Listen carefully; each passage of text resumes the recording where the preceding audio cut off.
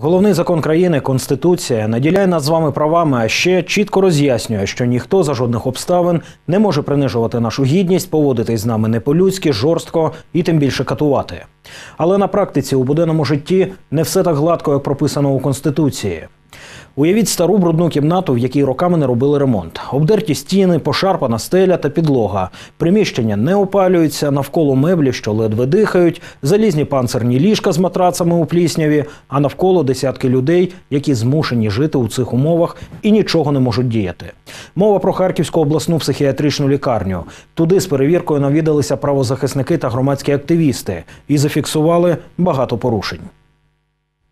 У чоловічому відділенні немає гарячої води, ліжка з панцирною сіткою, поганої якості, матраци та постільна білизна відсутні, приліжкові тумбочки. Пацієнти палять у приміщенні у жіночому відділенні неприємний запах. Пацієнти не виходять на прогулянки та не мають вільного доступу до питної води.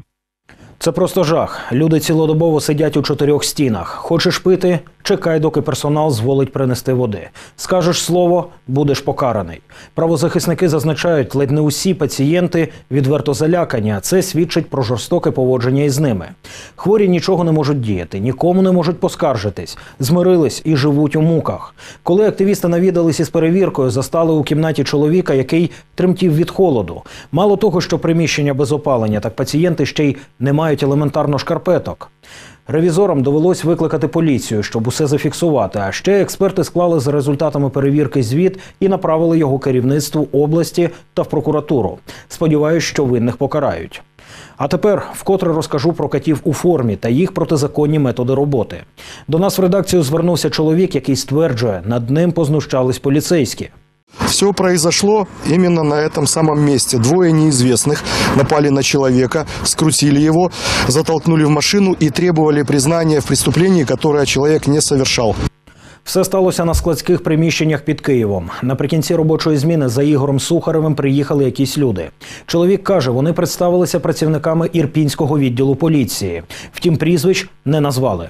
Звинуватили його у крадіжці та силоміць заштовхали в машину. Це зафільмувала камера спостереження, і все бачили свідки. Наверное, следователи, потому что те были в гражданке вроде.